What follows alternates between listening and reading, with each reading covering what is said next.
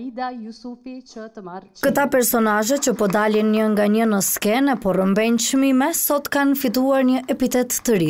Disa janë mjek, disa staf arsimor e zyrtarë komunalë, por ata këtë të premte janë përzgjedhur si ikona të integritetit në komunën e Gjakovës dhe Prishtinës. Organizata UBO Consulting ka implementuar një kampajnë bashkë me USAID-in për të përzgjedhur zyrtarët publikë më të ndershëm në këto dy komuna.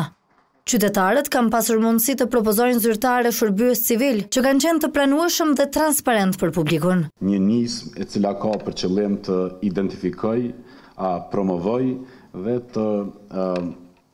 falënderojë publikisht zyrtarët me integritet të lartë të cilët shkojnë përtej detyrave të tyre. Përderisa dikujt i kishte mbetur merak që të zgjidhej vetë ikonë integriteti. Se dhe na politikantë kemi nevojë me me pasë modele të integritetit edhe me i promovu besa. Por projekti dhe kriteret nuk e kanë leju që politikantë me qenë pjesë e projektit, ndoshta më mirë.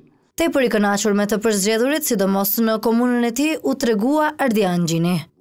Jam shumë i lumtun që i kom tre kolegë të mi sot këtu. Edhe me i pas zgjedhë vetë, nuk kisha dit ma mirë. Ka edhe shumë tjerë, shumë tjerë shërbys civil në komunën e Gjakovës, shumë kolegë të mi që definitivisht e meritojnë, po edhe një herë po thom, me pas zgjedhë vetë nuk kisha bo ma mirë, e sa për tre mijë e dyqind vota,